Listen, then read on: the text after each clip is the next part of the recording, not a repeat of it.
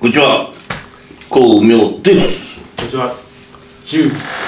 です。コクテル。どうぞ。こんにちは。コクテル。今日もはい。よろしくお願いします。します。はい。はい、組織の一員としての覚悟組織名称銀河防衛チーム我々は今まで苦難を苦難も悲しみも多々あった。焦至らん点も多々あった。しかしこれを何とか乗り越え今ようやく一筋の光が降り注いでいる。いつか未来においてその一筋の光がやがて希望という大きな光となってこの世を照らすことをただ信じて進む。大使からそなたたちは地球防衛軍のような働きをする組織であると言われている。我々の使命である。次の新しい世界に導く次元上昇を成功させることは安定した宇宙かっこ銀河や次元が形成されることになる。そのため我々の組織の名称を銀河防衛チームギャラクシーディフェンスチームとして今後活動していく予定である。この組織は人々を導くためにある組織。大使から次のようなメッセージが入ってきた。今そなたたちはさまざまな神仏の力添えのもとで進んでいる。まずこの神仏の言葉を親身に受け入れ迷うことなく進めるかにこの世界の未来がかかっている。新しいことを想像するにあたってさまざまなしがらみ今までの教えや常識を根底からひっくり返すことがその他たちに要求されている。この組織は世の人々を導くためにある組織であり特定の一部の人を救うこと個人の興味を満たすことお金や思想のためのものではない。世の人々のためにまず自分の生活をいかに犠牲にできるかが重要である。自分のしたいことや興味欲望そのような気持ちをいかに世の人々の導きに向けられるかが大切である。白虎が一つの組織を組織のメンバーに送り組織が締まり正しい道に進む。2021年1月23日午前7時大使から光明に白虎が一つの文をメスメンバーに通達しそれにより組織が締まり正しい道に進むというメッセージがあった。私はこの大使様のメッセージを聞いていなかったが新しいスタッフを加わることになり今後さらに姿勢を正して進めていく必要があると考え2021年1月23日の午前11時に空港のロビーからスタッフに向けて今後の仕事の方針や取り組み姿勢などについての厳しい文書を送信していた。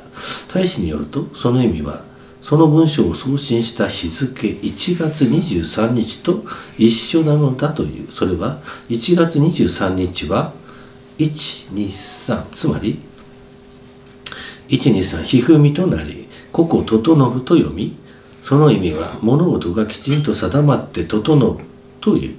大使は組織の物事がきちんと定まって整うこと。を1月23日の123つまりひふみという数字で表したのである。光明の前に白虎が現れたタイミング。光明が盛んの仕事をしている数年前のことである。世話になっている会社から仕事の依頼の電話がかかってきた。今回は遠出になるがいつも車で寝るのであれば大丈夫だから富士山の近くのロボット工場に行ってくれと頼まれそこで1ヶ月ぐらい働いた。その場所の上空には三角の UFO が頻回に飛んでいた。それは米国で開発している戦闘機らしい。その地で試験的に飛行しているのであろう。そのうち光の民からの通信でこの地は危険だから違う場所に移りなさいと言われた。数日後以前勤めていた会社から光明に次の仕事の依頼があった。その会社の仕事は土日は休み雨降りは休みで仕事がないので当然暇になるので給料が安かった。光明は給料が安く稼げないので違う職場に移ろうとしたが大使から「それはならぬ」と言われた。光明は「それはなぜですか?」と聞くと大使は「そなたは人に会わねばならない。そのためには時間が必要だ。近々ある人物に会うことで必ず個々整うから今は我慢しなさい」という。大使の指示により3年ほどそのように時間が作れる安い給料の仕事をして預金を切り崩して生活してきた。その頼みの貯金、えー預金ももう底をつくようになっていた。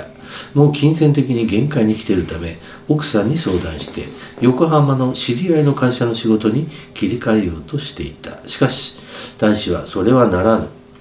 そなたを助けてくれる人が必ず現れ個々整うという。これは2019年の夏頃の話であり白子の私と孔明が初めて会った日が2019年の10月14日である。大使から「ここ整う」と言われたのはその23ヶ月も前のことであった。これねこれがほらいわば何十年も渡って渡ったりしたら奇跡の始まりだよね。このプロジェクトが立ち上がる奇跡の始まりの。もうとにかくねう移されたところはねままか不思議だったところなんですよ。車駐車場に止めた時に弘法大師様の1200年の歴史を持つ寺が4つあってんだよ4つ4つの真ん中にその駐車場が来るような感じ、なんでそんな近くにその大師様の仏像が4つもあるのかな？って思った時に何かに守られてるとこ場所なんだなっていうことは理解したんですよ。で車で来た時にその社長の子供たちがいてちっちゃい子供たちがいて「はあ」っておじさんすごいねって言うので何言ったら「おじさんなんで竜に乗ってきたの?」って言うの？その二人の子供がね「えー、どうして?」って言ったら「竜だよこれ竜」竜だよって。ちっちゃい子ね。だから見えてんだなと思って。うん何かあんのかなと思って。だけどすごくね本当にねもう何年間も我慢したんだけどもうすごい安かったから。お金がねとにかく。もうほとんどこう口から出さなかった生活ししていけなかった。でいう言葉に対してもあのなんていうのかなきちんとした答えっていうのかなそういう誘われた誘われた人が言うような言葉ではなかったのね人として。人として。誘った人がそういうこと言っちゃいけないでしょっていうものの答え方じゃなかった。のその社長の答え方ね、うん、だからもう偉大頭したからもう女の人にねあの義理も何も通すことないと思ったの。で声かけたらいろいろ来てくれっていうとこたくさんあるからね。そっちに移ろうと思ったらもうダメだダメだって。で移ろうとしたら車が故障して故障して動かなくなった。ああいう時なんて現場と見たら現場監督がこうなってのか立てかけたやつの足場を倒しちゃって。で車潰れちゃって。直しに立つとまた1ヶ月。それ1ヶ月の間ね車貸してもらったんだけども。ね。あのワゴン車で乗ったでしょ。で寝泊まりするわけだから。あの材料とかあったらすごい匂いだね。匂いがすごいんだわ。新陳なみたいに使うのね。でそれでもなんとか我慢して。で時が来るまで待てって言って。でやっぱりね大変だったんだかね。あのー、差し押さえみたいなのが来てね預かせながらね保険がちょっと払えなくなっちゃって。その時にあのー、うちの奥さんの両親に頼ってねいい年こえてね。で貸してくださいと。でこれ借りたらいつ返すんだってもちろんそういう話なんだよね。それはもう正直にねもうここはもう隠してのなんだからはっきり言いました。大様の弘法大様の命令によりね命によりずっと歩いてきたって奥さんと会って今まで一緒になったのもそういう仏様の導きによって僕は歩いてきたって正直に今言いますと。でそののお金が入った時にすぐ返しますんでと。もうちょっと待ってもらえませんか言った時に頭がおかしくなったと思ったね向こうの両親が。あんた頭おかしいんじゃないって。そんなねななんかありもしないことでねごまかすんじゃないようなこと言われた、だけど本当のことだからうちの奥さんとも話し合ってる。ここに来てるんですよって言ったのでうちの娘もあんたに協力してるの？っていや真実ですからって。彼女はその真実を見てるから。って一緒にその神の神との接触を見てるんですよって。奇跡をね。だから信じてくれてるんだって。だからそれまでお金がちょっと足りないんだけど差し押さえだけは解除したいから貸してもらって。借りたんです初めて恥ずかしいんですうん。そのねお金を貸してんだよよそに行けばもう稼ぎいいとこたくさんあったからね。だけど行っちゃいけないでもこれは参ったなと。でうちの言い方があの自分の方に入ってきてる言い方からするとね我らの死者が現れるって死者がそなたを救ってくれる。そなたたちを救い上げると。それまで待てって。そのものに全てを話しなさい。その神の言葉とかその仏の心を伝えなさい。でもう動かなければ間に合わないぞって。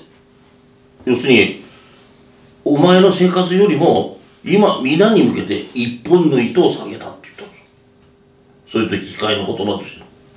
一本の糸って何だかなって。ねみんながやってきた代償が今これから来るその代償に対してお前らがちゃんとした態度でね神仏と接しなければその代償は高くつく。それどころか一本の糸にも気がつかないでね放置された糸はいずれ消えちゃうだろうと。そういうものの言い方ってここからやっぱり真剣にでやった時にやっぱりねお金が入ってもうたすくい上げてお両親に「ありがとうございます」ってお金はお返ししますって言った時にもう豆鉄砲食らったようなね感じだよね。返してもらえると思ってないからね？え？って本当に返してくれるの？って感じ。でで一応そういうことなんで。ってでちなみにそのこういうようなものを写したんですよね？とか仏様とかに見せてあげたの。そした時は「ああ。おおお母さんは分かった」ああこれ。え？これあれだよね？仏様がだよねって。仏像のあれだよねって。光ってる仏様だよね金色のって言ったからね。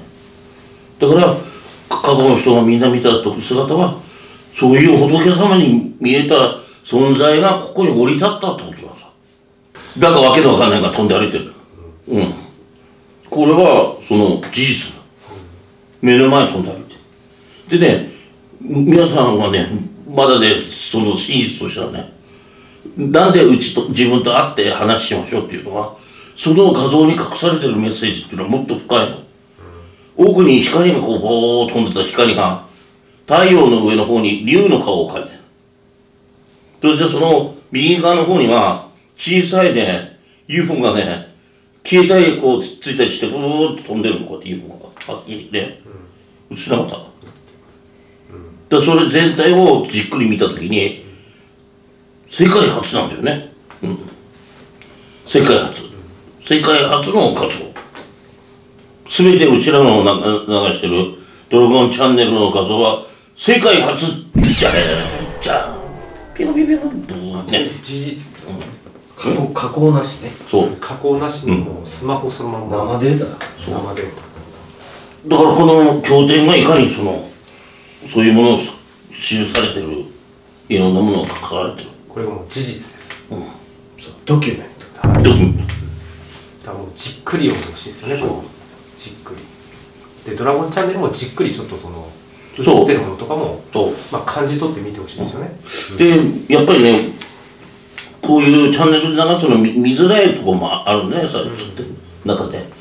で会いに来てもらった人には直にこの携帯が直にこう画像の写りのえぐいねあのテレビで見てもらった時にすごいからね。すごいものが映ってるから。まあツアーとかやってますからね。それで。気軽にねちょっと声をかけていただいて体験していただいて。あそれでうん。大体奇跡もそう。毎回何かしらこう体験して書いていただいてるじゃないです。か普通に星動くもね。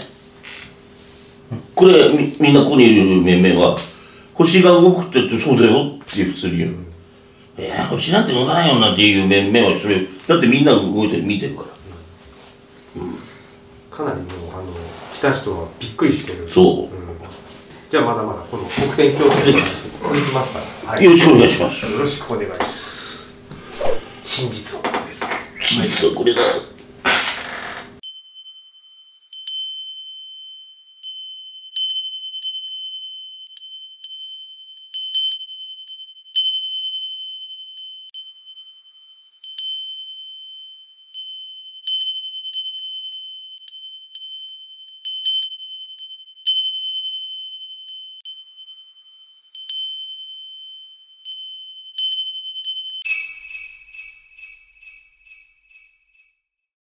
チャンネルはこちらから。